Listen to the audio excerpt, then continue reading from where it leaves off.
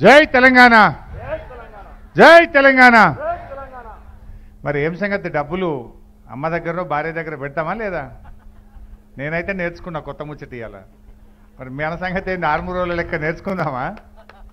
Support చేస్తలేరు. ఆడవాళ్ళు అయితే ఆ అంకుల్ చెప్తుంటే నేను చూస్తున్నా. మంచిగా నవ్వుతున్నారు ఇక. అరే ఎంత మంచి ముచ్చట చెప్పిండని అందరి మొక్కలు నవ్వు వచ్చినాయి కానీ మీ నుంచి స్పందన వస్తలేదు. జేబులు ఖాళీ. అటు పెట్టుండి పెడితేనే లక్ష్మి ఉంటుంది మరి.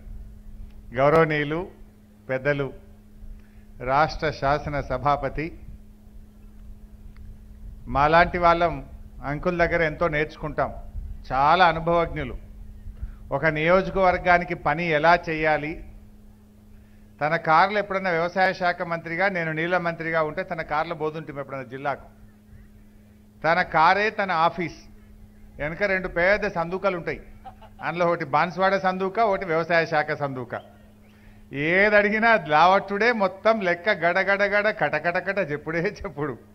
అంటే పెన్ను బట్టి తానే స్వయంగా ఇంట్లో సంసారాన్ని ఇంటి యజమాని ఎట్లా నడుపుతాడో బాన్స్వాడ నియోజకవర్గాన్ని అంత అద్భుతంగా నడిపించేటువంటి ఒక మహానాయకుడు వారు.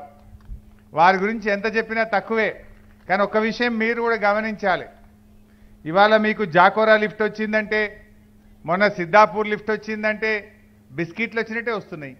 అదో నూరు కోట్లు ఇదో నూట ఇరవై కోట్లు. రెండు వందల యాభై కోట్ల రూపాయల పని వారు ఇట్లా అడగంగానే అట్లా ముఖ్యమంత్రి గారు ఇస్తున్నారు అంటే ఎందుకు వస్తున్నది? ఒక్కసారి ఆలోచించాలి.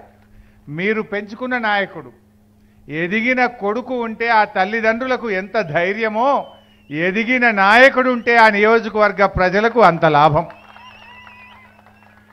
పోచారం సీనన్న ఒక రాష్ట్రంలోనే గౌరవ ముఖ్యమంత్రి తర్వాత అత్యంత గౌరవమైనటువంటి వ్యక్తి. చాలా ఎదిగిన నాయకుడు. మీరందరూ ఇష్టంగా పెంచుకున్న నాయకుడు.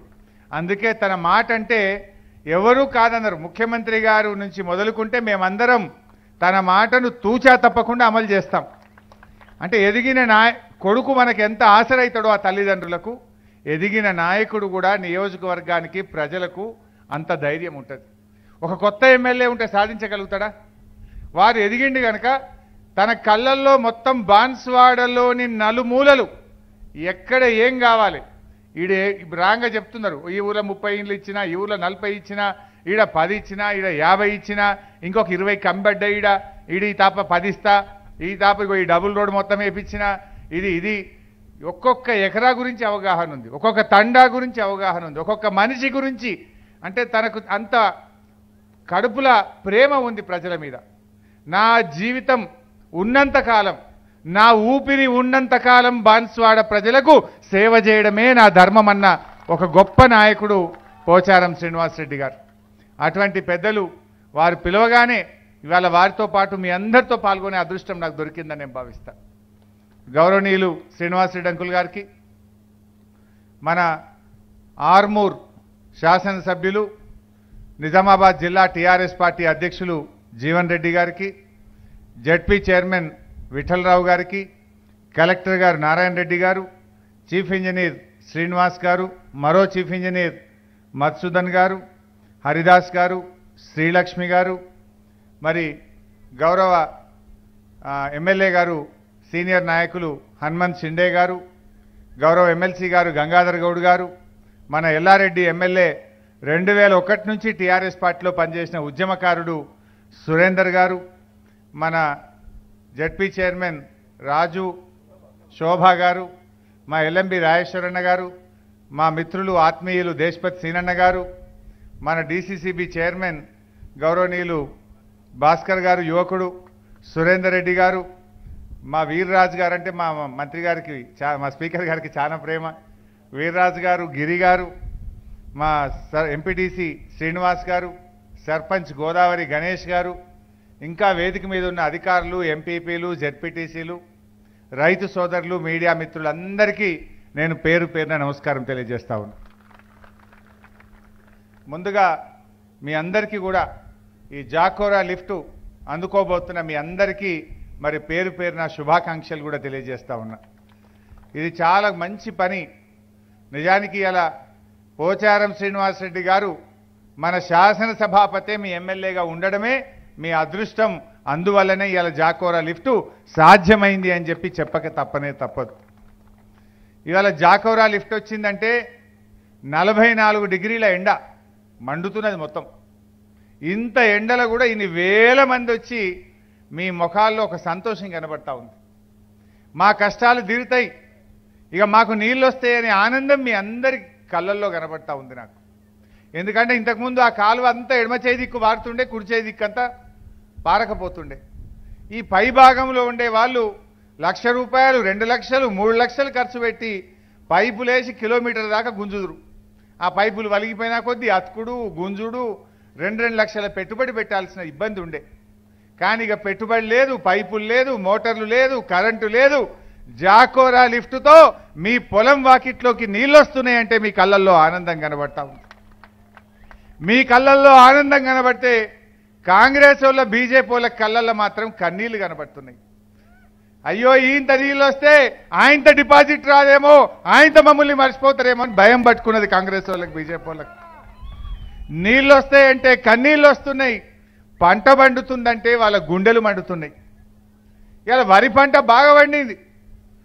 తెలంగాణ వచ్చినాడు ఈ తెలంగాణ రాష్ట్రంలో వరి ధాన్యం ఒక సంవత్సరానికి ఎంత పండుతుండే అంటే తొంభై తొమ్మిది లక్షల టన్నుల పంట పండుతుండే.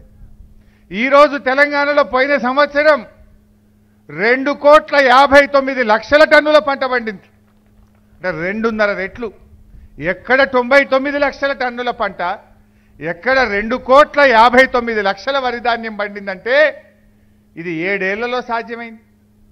స్వాతంత్రం వచ్చి డెబ్బై ఐదేళ్ళలో ఓ తెలంగాణలో ప్రాజెక్టు కట్టింది లేదు. వెనకడ నిజాం నవాబు కట్టిన ప్రాజెక్టే తప్ప వీళ్ళు కొత్తగా కట్టింది లేదు నీళ్ళు ఇచ్చింది లేదు. అంటే తొంభై తొమ్మిది లక్షల నుంచి రెండు కోట్ల యాభై తొమ్మిది లక్షల టన్నుల వరిధాన్యానికి తెలంగాణ పెరిగిందంటే ఇది గౌరవ ముఖ్యమంత్రి కేసీఆర్ గారి కృషి టీఆర్ఎస్ ప్రభుత్వం వల్ల సాధ్యమైంది. దీన్ని ఎవరైనా కాదనగలుగుతారా? ఈయనలేమన్నా ఏమైనా అబద్ధం ఆడేది ఉందా? పండిన పంట అంతా ఎఫ్సీఐకే జోక్తిమి. రెండు కోట్ల యాభై తొమ్మిది లక్షల టన్నుల పంట పండించినాం. మొన్న మన మంత్రులు ఢిల్లీకి పోయినరు పోచారం శ్రీనివాస్ రెడ్డి గారు ప్రశాంత్ రెడ్డి గారు వీళ్ళంతా ఢిల్లీ పోయినరు యాసంగి పంట కొనవయా మా వడ్లు కొనమని పోతే ఏమేం కొనం? కొనం. ఏమంటుండ్రు వాళ్ళు? ఆ మంత్రి అంటాడు క్యా చమత్కార్ కరే గింత పంట అడికెళ్ళొస్తుంది ఈ తెలంగాణదైనా ఏమైనా పక్క పంట తెచ్చికిట్టి ఇలా కలుపుతుర్రా అంటాడు.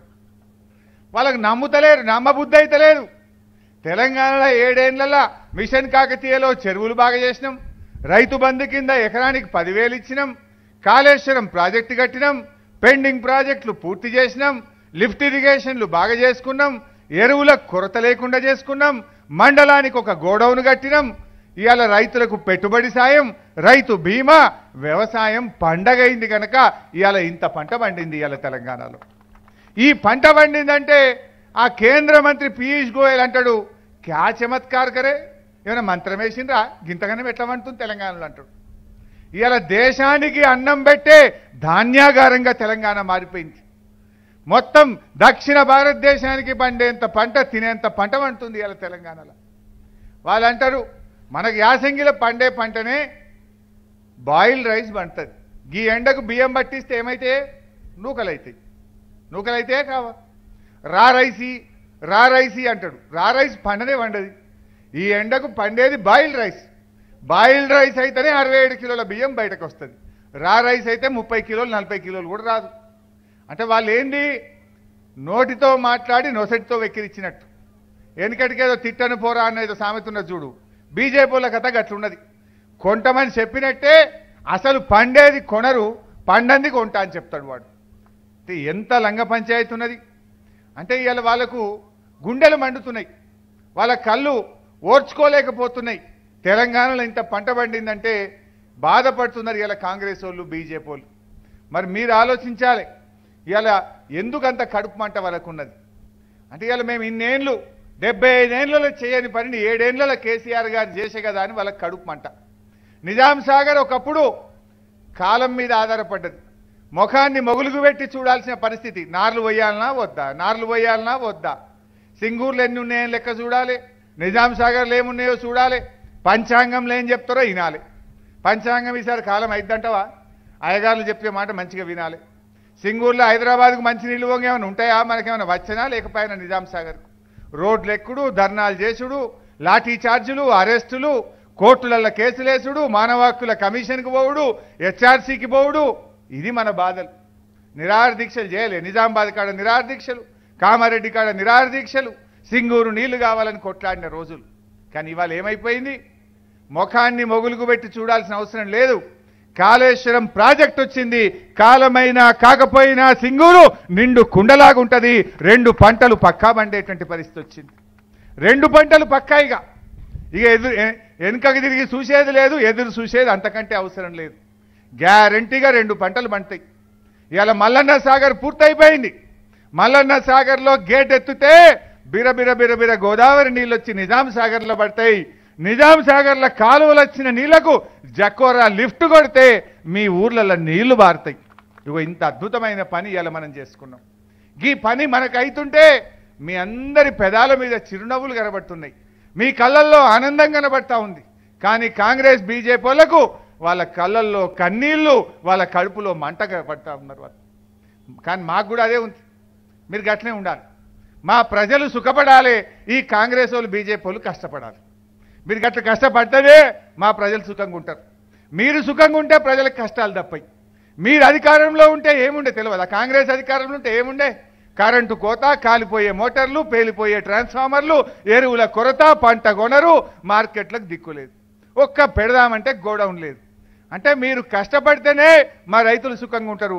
మీరు అధికారంలోకి వచ్చి సుఖపడితే మా రైతుల కష్టాలు తప్పాయి అందుకే టీఆర్ఎస్ ప్రభుత్వం కూడా ఏం కోరుకుంటుందంటే కాంగ్రెస్ బీజేపీలు కష్టపడాలి మా ప్రజలు మా రైతులు సుఖపడాలని చెప్పి టీఆర్ఎస్ పార్టీ కోరుకుంటుంది. ఇవాళ ఇది వాస్తవమా కాదా మీరే చెప్పండి. ఇవాళ ఈ పనులు నిజంగా ఇదే కాంగ్రెస్ వాళ్ళు ఉంటే అవుతుండేనా కాంగ్రెస్ వాళ్ళతో ఈ పనులు సాధ్యమేనా? బీజేపీలతో ఈ పని సాధ్యమైందా? బీజేపీ వాళ్ళు బాగా మాట్లాడతారు. వాళ్ళ మేనిఫెస్టోలో చెప్పింది బీజేపీ అధికారంలోకి వస్తే ఐదేళ్ళలో రైతుల ఆదాయం రెట్టింపు చేస్తామన్నారు. అయిందా? అయింది. ఒకటైతే అయింది. ఏమైందంటే ఆదాయం రెట్టింపు కాలే కానీ ఖర్చు మాత్రం రెట్టింపు అయింది పెట్టుబడి మాత్రం రెట్టింపు అయింది ఇవాళ బీజేపీ అధికారంలోకి వచ్చినాడు డెబ్బై రూపాయలకు ఉన్న డీజిలు నూట పది రూపాయలు అయింది ఇవాళ. ఆనాడు ఒక ఎకరా దున్నాలంటే ట్రాక్టర్ కిరాయి రెండు వేలు ఉండే బీజేపీ వచ్చినాడు రెండు వేలు ఉండే ఇవాళ ఒక ఎకరా దున్నాలంటే ఐదు వేలు ఆరు వేలు కిరాయి అడుగుతున్నారు. ఎంత అడుగుతురే ఐదారా? ఐదు వేలు. ఒక్క ఎకరా దున్నాలంటే ఐదు వేలు. రెండు వేలతోనయ్యే ఖర్చు ఇవాళ ఐదు వేలు చేసి పారేసిండ్రు. వరి కోత మిషన్ నిన్న మొన్ననే కోసిండ్రు మీరంతా. ఇదివరకు వెయ్యి పన్నెండు వందలకు వస్తుండే వరి కోత మిషన్. ఇప్పుడు ఎంత అయింది రెండా? మూడుకి వచ్చిందా? వరి కోత మిషన్ ఇరవై ఐదు వందలకు వచ్చింది.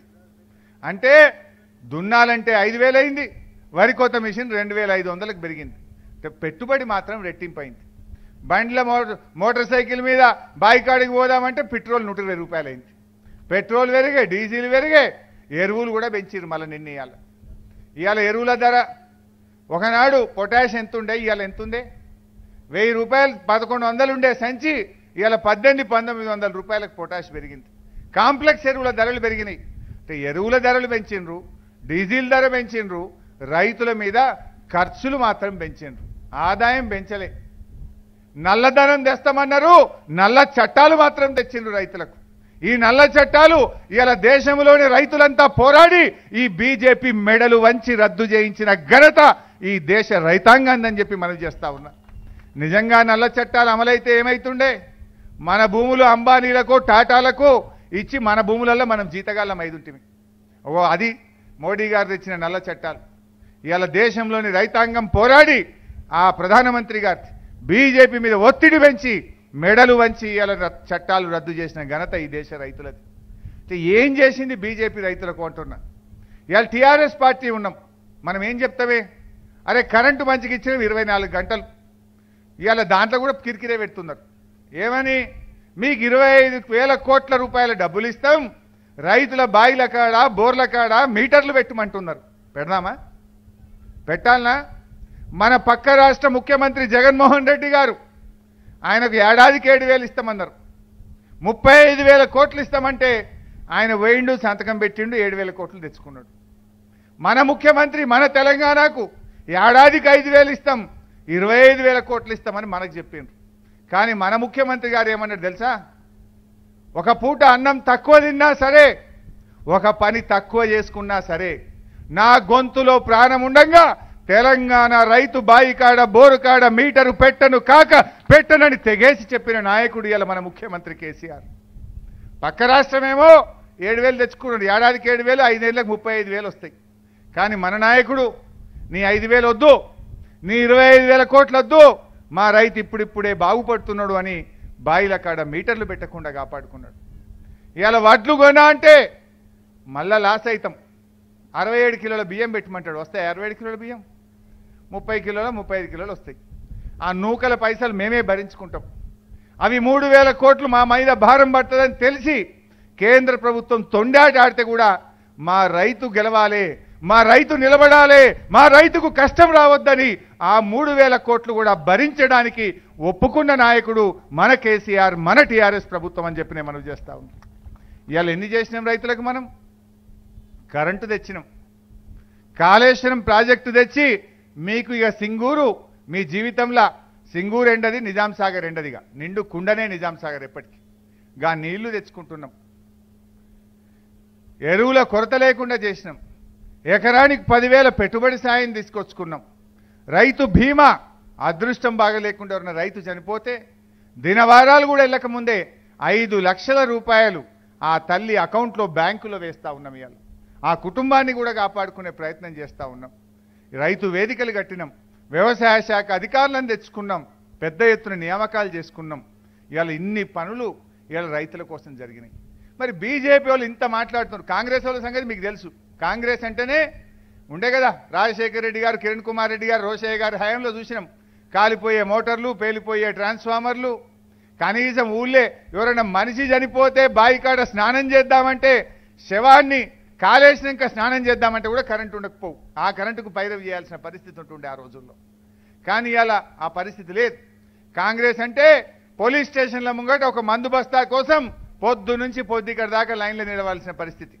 నిలబడితే దొరికితే ఒక సంచి దొరుకు లేకపోతే మళ్ళీ తెల్లారు పోయి మళ్ళీ ఐదు గంటలకు చెప్పులు లైన్లో పెట్టి నిలబడాల్సిన పరిస్థితి. ఎరువుల కొరత కరెంటు కోత కాలిపోయే మోటార్లు పేలిపోయే ట్రాన్స్ఫార్మర్లు గోడౌన్ల కొరత ఇవి తప్ప కాంగ్రెస్ చేసిందేం లేదు. ఓ ప్రాజెక్టు కట్టింది లేదు ఓ నీళ్ళు ఇచ్చింది లేదు ఇంకేదో పెద్ద రాహుల్ గాంధీ వస్తాడు ఉద్ధరిస్తామని. నీ ఇల్లే చక్కగా లేదు కానీ ఇంకా నువ్వు వచ్చాడు ఈ తెలంగాణను ఉద్ధరిస్తావట. ఏడవైనా ఆ రాహుల్ గాంధీ అడుగు పెడితే ఐరన్ లెగ్గే ఓడుడు తప్ప గెలుచున్నది ఇన్ని ఈ మధ్యకాలంలో కాంగ్రెస్ పార్టీ ఓడింది తొంభై నాలుగు శాతం గెలిచింది ఆరు శాతం. ఏడవైనా ఓడుడే. ఉన్న పంజాబ్ ఊడగొట్టుకున్నారు. ఉత్తరప్రదేశ్లో ఒక్క సీట్ లేకుండా పోయింది. మీరు ఇంకేమైనా గెలిచినారు? ఢిల్లీలో అడ్రస్ లేదు ఉత్తరప్రదేశ్లో అడ్రస్ లేదు. హర్యానాలో పత్తా లేకుండా పోతున్నారు. పంజాబ్లో పత్త కట్టిపోయిపోయింది ఇంకేదో ఇడికొచ్చి తెలంగాణలో ఉద్ధరిస్తారట. కాంగ్రెస్ అనేది గతం మీది ఒడిసిన చరిత్ర. ఇక బీజేపీ వాళ్ళు మీరేం చేసినారు రైతులకు? ఒక్కటి చెప్పుండ్రి నల్ల చట్టాలు తెచ్చుడు తప్ప బాయిల కాడ మీటర్లు పెట్టుమనుడు తప్ప డీజిల్ ధర పెట్టి పెంచుడు తప్ప ఎరువుల ధరలు పెంచుడు తప్ప రైతులకు బీజేపీ ప్రభుత్వం చేసిన ఒక్క మంచి పని ఏదైనా ఉంటే చెప్పమని చెప్పి నేను అడుగుతా ఉన్నా. ఒక్క పని ఒక్క పని చెప్పండి. టీఆర్ఎస్ అంటే వంద చెప్తుంది. మేము ఎరువులు మంచిగా ఇచ్చినాం నీళ్ళు ఇచ్చినాం రైతు బంధు ఇచ్చినాం రైతు బీమా ఇచ్చినాం కరెంటు మంచిగా ఇచ్చినాం గోడౌన్లు కట్టినాం మార్కెట్లు కట్టినాం ఇవాళ నువ్వు దొడ్డు వడ్లు కొనా బాయిల్డ్ రైస్ కొనా అని తొండికేస్తే కూడా మా రైతులు గెలవాలి నిలబడాలని మూడు వేల కోట్లు ఖర్చు పెట్టి వడ్లు కూడా కొంటున్నాం. నువ్వు చేసింది ఏదైనా ఒక్క పని ఉంటే చెప్పమని నేను అడుగుతా ఏదీ లేదు. తొండి మాటలు. ఇవాళ టీఆర్ఎస్ పార్టీది అనేది టీఆర్ఎస్ అనేది నిజాయితీ. అభివృద్ధి విషయంలో టీఆర్ఎస్ది నిజాయితీ అయితే బీజేపీది పంచాయతీ. అభివృద్ధి విషయంలో మేము ఏదైనా మాట్లాడితే నిజాయితీతో మాట్లాడతాం. చేసిన విషయాలు చెప్తాం. అభివృద్ధిలో టీఆర్ఎస్ది నిజాయితీ అయితే బీజేపీది ఉత్త తొండి పంచాయతీ తప్ప ఒక్క మాట కూడా నిజం లేదని చెప్పి నేను మనవి చేస్తా ఉన్నా. సో మిత్రులారా ఇట్లా చెప్పుకుంటూ పోతే చాలా విషయాలు కూడా ఉన్నాయి. ఇలా ఉద్యోగాలు. మన టీఆర్ఎస్ ప్రభుత్వం వచ్చిన తర్వాత ఈరోజు రెండు లక్షల నలభై వేల ఉద్యోగాలకు నియామకాలు చేస్తున్నాం. గతంలో లక్షా యాభై వేల ఉద్యోగాలకు నోటిఫికేషన్ ఇస్తే లక్షా ముప్పై రెండు వేల మంది పిల్లలు ఉద్యోగాలు ఎక్కిండ్రు. ఇంకో పద్దెనిమిది వేలు కోర్టు కేసులు వివిధ దశల్లో నియామకాలు జరుగుతున్నాయి. ఇప్పుడు మళ్ళీ తొంభై ఒక్క వేల ఉద్యోగాలు నింపడానికి నోటిఫికేషన్ వచ్చింది. మొన్ననే గ్రూప్ వన్ వచ్చింది. గ్రూప్ పోలీస్ కానిస్టేబుల్ వచ్చింది. నిన్న ఎక్సైజు ఆర్టీఏ డిపార్ట్మెంట్ నోటిఫికేషన్ వచ్చింది. తొంభై ఒక్క వేల ఉద్యోగాలు నింపబోతా ఉన్నాం. ముఖ్యమంత్రి గారు ఒక మాట అన్నారు.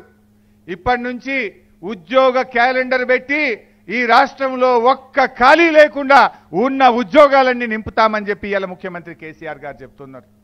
నేను అడుగుతున్న బీజేపీలను మరి మీరెందుకు నింపరు? పాదయాత్ర చేస్తున్నావు బండి సంజయ్. నేను అడుగుతున్నా నేను తెలంగాణ యువత పక్షాన నిరుద్యోగుల పక్షాన. ఈ దేశంలో ఖాళీగా ఉండే పదిహేను లక్షల అరవై తొమ్మిది వేల ఉద్యోగాలు ఎప్పట్లోగా నింపుతారో మా రాష్ట్ర యువతకు చెప్పాలని చెప్పి నేను డిమాండ్ చేస్తా ఉన్నా. ఎందుకు పదిహేను లక్షల అరవై తొమ్మిది వేలు ఖాళీగా పెట్టిండ్రు? ఆ పదిహేను లక్షలు నింపితే మా తెలంగాణ పిల్లలకు ఒక లక్ష ఉద్యోగాలు వస్తాయి కదా. మా పిల్లలు బాగుపడతారు కదా. నువ్వు ఎందుకు నింపవని అడుగుతున్నా. రైళ్ళు రైల్వేలో ఏడేళ్ళ బీజేపీ ప్రభుత్వంలో ఒక్క ఉద్యోగం ఇయ్యలే. రిటైర్ అయిన రిటైర్ అయినట్టు ఇంటికి పంపుడే. మూడు లక్షల ఖాళీలు ఉన్నాయి రైల్వే డిపార్ట్మెంట్లో. మూడు లక్షల ఉద్యోగాలు ఖాళీగా ఉన్నాయి. ఒక్క ఉద్యోగం కూడా నింపుతలేరు. ఎందుకు నింపుతలేరయ్యా అని అడిగితే ఇక నింపులు లేదు. దిగినోడు దిగినట్టు ఇంటికి పోవాలి. ఇంటికి పోయినా కొద్దీ రైలు అమ్ముతాం రైల్వే స్టేషన్ అమ్ముతాం రైల్వే లైన్లు అమ్ముడు పెడతామని చెప్పి అమ్ముడే అమ్ముడు పెడుతున్నారు. దేశంలో ఓనాడు ఏం చెప్పిండ్రు వీళ్ళు? రైల్వే స్టేషన్లో మా మోడీ గారు ఛాయమ్మిండు అని చెప్పిండ్రు. బుల్లెట్ రైలు తెస్తామన్నారు. కానీ బుల్లెట్ రైలు రాలే. రైల్వే స్టేషన్లు అమ్ముతున్నారు రైల్వే లైన్లు అమ్ముతున్నారు. ఈయన ఉన్న ఉద్యోగాలు కూడా కొడుతున్నటువంటి పరిస్థితి ఉన్నది. ఇవాళ సిఆర్పిఎఫ్లో కానీ ఆర్మీలో కానీ కేంద్ర ప్రభుత్వ వివిధ పారామిలిటరీ ఫోర్సెస్లో మూడు లక్షల ఉద్యోగాలు ఖాళీగా ఉన్నాయి. కేంద్ర ప్రభుత్వంలో తొమ్మిది లక్షల ఉద్యోగాలు ఖాళీగా ఉన్నాయి. ఒక్క ఉద్యోగం కూడా నింపినటువంటి పరిస్థితి లేదు. ఎంతసేపు హిందూ ముస్లిం కొట్లాట పెట్టాలి రెచ్చగొట్టాలి. ఎయిటీ ట్వంటీ గేమ్ ఆడుతున్నారు వాళ్ళు. ఎస్ ఎయిటీ ట్వంటీ గేమే. మేమైనా ఎయిటీ ట్వంటీ? ఈ దేశంలో ఎనభై శాతం మంది పేదలు ఉన్నారు ఇరవై శాతం మంది ధనికులు ఉన్నారు. నువ్వు ఎటువైపు అని అడుగుతున్న బీజేపీని? ఎనభై శాతం ఉండే పేదల వైపా? ఇరవై శాతం ఉండే ధనికుల వైపా? బీజేపీ తేల్చి చెప్పాలని చెప్పి నేను అడుగుతా ఉన్నా. మీరు మాఫీ చేసింది ఎవరికి మాఫీ చేసిండ్రు? పదకొండు లక్షల కోట్లు మాఫీ చేసిండ్రు. రైతులకు మాఫీ చేయలే. మహిళల కోసం చేయలే. మా యువత కోసం చేయలే. ఇవాళ బడా బడా పారిశ్రామికవేత్తలు లక్షల కోట్ల రూపాయలు బ్యాంకులకు అప్పులు ఎగ్గొడితే ఆ పారిశ్రామికవేత్తలకు పదకొండు లక్షల కోట్ల రూపాయలు మాఫీ చేసిండ్రు తప్ప ఎనభై శాతం పేదలకు మాత్రం ఏమీ మాఫీ చేయలే. ఎనభై శాతం పేదలకు ఏ ఒక్క పని చేసిన పాపాన పోని పార్టీ ఇవాళ బీజేపీ పార్టీ. ఈ రకంగా చెప్తే ఈ బీజేపీ ఉత్త దగా మాటలు. ఎటువైపు అని నేను అడుగుతున్న బీజేపీని? ఈ దేశంలో ఉండే ఎనభై శాతం పేదల వైపా ఇరవై శాతం ధనికుల వైపా సమాధానం చెప్పాలని చెప్పి నేను బీజేపీ పార్టీని అడుగుతా ఉన్నా. అంటే బీజేపీది ఉత్తమాయ మాటలు. ఒక్కటన్నా ఉందా? ఇప్పుడు ఎల్ఐసిని అమ్మడానికి పెట్టిండ్రు. ఎల్ఐసిని అమ్మడంలో కూడా పెద్ద ఎత్తున అవినీతి జరగబోతా ఉంది. ఎల్ఐసి ఇలా ఎన్ని కోట్ల మంది పాలసీదారులు ఎల్ఐసికి? ఎల్ఐసి అంటే ఈ దేశ ప్రజలు నమ్మిన అత్యంత విశ్వసనీయత కలిగినటువంటి ఒక సంస్థ ఎల్ఐసి. ఇలా ఎల్ఐసిని అమ్మే ప్రయత్నం చేస్తున్నారు. విశాఖ ఉక్కు నమ్ముతున్నారు. బీపీసీఎల్ నమ్ముతున్నారు. ప్రభుత్వ రంగ సంస్థల్ని అమ్మకానికి పెడుతున్నారు. ఇవి అమ్మితే ఏమవుతుంది డాక్టర్ బాబాసాహెబ్ అంబేద్కర్ ఇచ్చిన రిజర్వేషన్లు మనకు లేకుండా పోతాయి. రేపు మా ఎస్సీలకు రిజర్వేషన్ ఉంటుందా? ఎల్ఐసి పోయి ఓ అంబానీ చేతుల్లో ఒక టాటా చేతిలో పడితే రేపు రిజర్వేషన్ ఉంటుందా? ఇండియన్ ఎయిర్లైన్స్ అమ్మేసిండ్రు. ఇండియన్ ఎయిర్లైన్స్లో రేపు ఉద్యోగాలు పడితే మా ఎస్సీలకు మా బీసీలకు మా మహిళలకు రేపు రిజర్వేషన్ ఉంటుందా? ఇండియన్ ఎయిర్లైన్స్ వాడు ఇస్తాడా? అంటే మీరు పేద ప్రజలకు ఇవాళ అంబేద్కర్ గారు ఇచ్చిన హక్కులను కూడా మీరు కాళ్ళ రాస్తున్నారు. మా ఎస్సీ ఎస్టీలకు ఉన్న రిజర్వేషన్లు కూడా కొట్టేటువంటి ప్రయత్నం చేస్తున్నారు. అంటే బీజేపీ ఇవాళ చేసిందేమీ లేదు. ఎంతసేపు సెంటిమెంట్ని రగిల్చే ప్రయత్నమే తప్ప ప్రజల కోణం ఎన్నడూ కూడా లేదు. మా అక్క చెల్లెలు కూడా ఆలోచించాలి. ఇవాళ టీఆర్ఎస్ ప్రభుత్వం వచ్చినాక రెండు వేల పదహారు రూపాయల పెన్షన్ ఇచ్చిండ్రు. ఆడపిల్ల పెళ్ళికి లక్ష రూపాయలు కళ్యాణ లక్ష్మి కింద ఇస్తున్నాం. మీ బిడ్డ కాన్పుకు పోతే ఒక్క ఫోన్ చేస్తే అంబులెన్స్లో ఎక్కించకపోయి బిడ్డ కాన్పు చేసి తల్లికి బిడ్డకు అన్నం పెట్టి కేసీఆర్ కిట్ ఇచ్చి పన్నెండు వేల రూపాయలు ఇచ్చి ఆటో కిరాయి లేకుండా తెచ్చి తల్లి నీ పిల్లను ఇంటి దగ్గర దించుతున్నాం ఇది నిజమా కాదా చెప్పండి ఈరోజు? ఈ దేశంలో ఎక్కడన్నా ఉందా ఇటువంటి పథకం? కేసీఆర్ కిట్ లాంటి పథకం ఎక్కడైనా దేశంలో ఉందా అని అడుగుతున్నాను నేను. ఇవాళ ఇంత మంచిగా ఆసుపత్రులు బాగా చేసుకుంటున్నాం. ఇవాళ స్కూళ్ళు కూడా బాగా చేసే కార్యక్రమం చేపట్టినాం. ఏడు వేల మూడు వందల కోట్ల రూపాయలు ఖర్చు పెట్టి మన ఊరు మనబడి అనే కార్యక్రమం తెచ్చినాం. ఇలా అది కూడా వాళ్ళకి మనసున పట్టలేదు.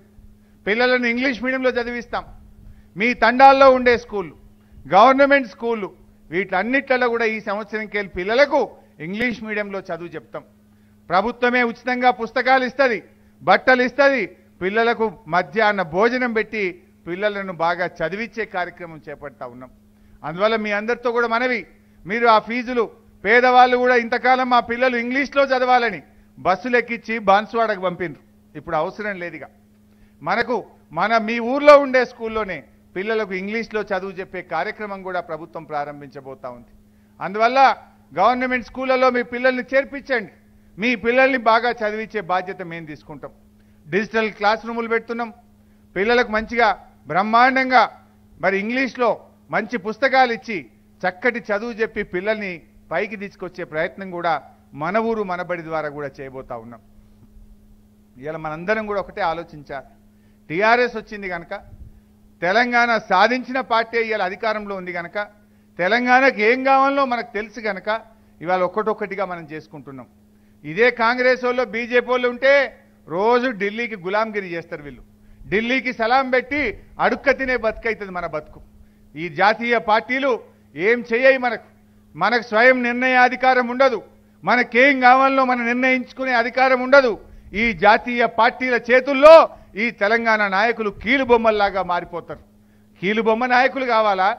ఆత్మ గౌరవంతో మనను మనం పరిపాలించుకుందామా? ఇవాళ మీరు ఆలోచించండి. ఈ ఢిల్లీకి గులాంగిరి చేసే పార్టీలు కావాలన్నా తెలంగాణ ప్రజల ఆత్మగౌరవాన్ని నిలబెట్టే పార్టీని మనం కాపాడుకోవాలన్నా ఇవాళ మనం ఆలోచించుకోవాల్సిన అవసరం ఉంది. సో మిత్రులారా ఇంకా చెప్తే చాలా విషయాలు ఉన్నాయి కానీ నేను మీ అందరితో కూడా మనవి చేసేది ఒక్కటే. ఇలా పోచారం శ్రీనివాసరెడ్డి గారు లాంటి నాయకుడు నిజంగా మీకు ఉండడం మీ అందరి అదృష్టం అని చెప్పి నేను మీకు తెలియజేస్తా ఉన్నా. ఎందుకంటే మేము వారితో చాలా సంవత్సరాలు కలిసి పనిచేసినాం. ఉద్యమంలో పనిచేసినాం వ్యవసాయ శాఖ మంత్రిగా పనిచేసినాం అసెంబ్లీలో స్పీకర్గా మేము చూస్తుంటాం. వారి అవగాహన వారికి ప్రజల మీద ఉండే ప్రేమ వారికి బాన్సువాడ ప్రజల మీద బాన్సువాడ నియోజకవర్గం మీద నిజామాబాద్ జిల్లా మీద వారికి ఉండే అవగాహన వారి ప్రేమ అది మాటలతో చెప్పలేనిది వెలకట్టలేనటువంటిది అని చెప్పి నేను మాత్రం చెప్పదలుచుకున్నాను మేము సిద్దిపేటలో బాగా పనిచేస్తాం అనుకుంటాం కానీ ఇక్కడికి వచ్చిన ప్రతిసారి కొత్తది నేర్చుకొని పోతాను ఈడేదో ఒక కొత్త విషయాన్ని నేర్చుకొని పోయి తెల్లారికెళ్ళి సిద్దిపేటలో దాన్ని అమలు చేసే ప్రయత్నం చేసుకుంటా. ఓ అంత అనుభవం వారిలో ఉంది. వారి అనుభవం నిజంగా మీ అందరికీ ఉపయోగపడ్డది. ఇలా వారి అనుభవం వారి పెద్దరికం వారి యొక్క సీనియారిటీయే ఇవాళ జాకోరా సిద్ధాపూర్ లిఫ్ట్ ఇరిగేషన్ స్కీములు మీకు సాధించింది. మొత్తం తెలంగాణలో పదివేల డబుల్ బెడ్రూమ్ ఇల్లు కట్టిన ఒకే ఒక్క నాయకుడు పోచారం శ్రీనివాసరెడ్డి గారు అని చెప్పి మనం చేస్తా ఉన్నా. ఎక్కడ పోయినా బ్రహ్మాండమైన రోడ్లు. పోయినసారి నేను నీళ్ళ మంత్రిగా ఉంటి. అంకుల్ వ్యవసాయ శాఖ మంత్రిగా ఉండే. నన్ను నిద్రపోనియపోవు ఈ మొత్తం నిజాం సాగర్ కాలువలు సిమెంట్ లైనింగ్ లాస్ట్ కొనదాకా చేయించేదాకా నన్ను ఇడిచిపెట్టలే అంకుల్. మొత్తం లైనింగ్ అయిందా లేదా మీకు? ఇడువకనే పోవు లాస్ట్ దాకా. ఇంకా అంకుల్కి ఒక్క మూడు ఊర్లు మిగిలినాయి. ఒక్క మూడు కిలోమీటర్లు మిగిలింది. ఇది ఎప్పుడైతుంది? దీని పైసలు కంపడ్డాయి దీని సంగతి ఏంది? పొద్దుగాల ఇంక ఐదున్నరకే ఫోన్ వస్తుంది ఇక ఆరు గంటలకే. అంటే అట్లా ఇవాళ బ్రహ్మాండంగా కాలువలన్నీ కూడా లైనింగ్ చేయించిండ్రు. ఇక ఆడొక్క తుకుడా ఈడొక్క తుకుడా మిగిలిపోయిందంటే లాస్ట్కు ఒక జంగల్ మీద ఉన్న ఇంకా చింతకుంటకు నీళ్ళు పోవాలంటే కూడా ఉపాయం చేసిండు. చింతకుంటకు పోవాలంటే జంగల్కెళ్ళి పోవాలి. జంగల్కెళ్ళి పోవాలంటే ఫారెస్ట్ తోడు అనుమతి ఇవ్వాలి ఫారెస్ట్ తోడు అది మద్రాసుకు పోతే అది వచ్చేది లేదు పోయేది లేదు. ఇక దానికి కూడా లిఫ్ట్ పెడతా గుట్ట మీద పోస్తే జంగల్లో వారుకుంటే చింతకుంట చెరువులో చేరుతాయని కూడా ఉపాయం చేసింది లాస్ట్కు. ఇది ఎందుకు సాధ్యమైంది? అనుభవం ఉన్న నాయకుడు ఉన్నాడు కనుక ఒక సీనియారిటీ ఉంది కనుక అవగాహన ఉంది కనుక ప్రజల మీద ప్రేమ ఉన్న నాయకుడు మనకు ఉన్నాడు కనుక ఇవాళ చింతకుంటను కూడా ఇడవకుండా ఒక్కొక్క గుంట గుంటకు నీళ్ళు ఇచ్చే ప్రయత్నం ఇవాళ పోచారం శ్రీనివాసరెడ్డి గారు చేస్తూ ఉన్నారు. సో వారి దగ్గర మేము వారి మాకేమనిపిస్తుంది అంటే మేమేమో బాగా పనిచేస్తామని మేము అనుకుంటాం ఇంత వయసులో మేము ఆ ఏజ్ వచ్చే వరకు ఏమైపోతామో తెలియదు కానీ ఇంత వయసులో కూడా నలభై నాలుగు డిగ్రీల ఎండలు అంకుల్ నిలబడదాం పైకి పోయి అంటాడు. ఈ ఎండ బాగా కొడుతుంది అంకుల్ అంటే నిలబడాలి నడువు అంటుండు. అంటే వారికి మీ మీద అంత ప్రేమ అంత అభిమానం ఉన్నది. సో మరొకసారి ఇవాళ నిజంగా మీ అందరిని చూస్తుంటే నాకు ఆకలి అవుతలేదు రెండు అవుతున్నట్టుంది కానీ కడుపు నిండినట్టున్నది. మీ కళ్ళలోని ఆనందం మీ అన్- మీ పెదవుల మీద చిరునవ్వులు మీ ప్రేమ చూస్తూ ఉంటే నిజంగా కడుపు నిండినంత సంతోషమైంది. ఇవాళ మీ మధ్య ఇంత మంచి సమావేశంలో పాల్గొన్నందుకు పేరు పేరున శుభాకాంక్షలు. జై తెలంగాణ.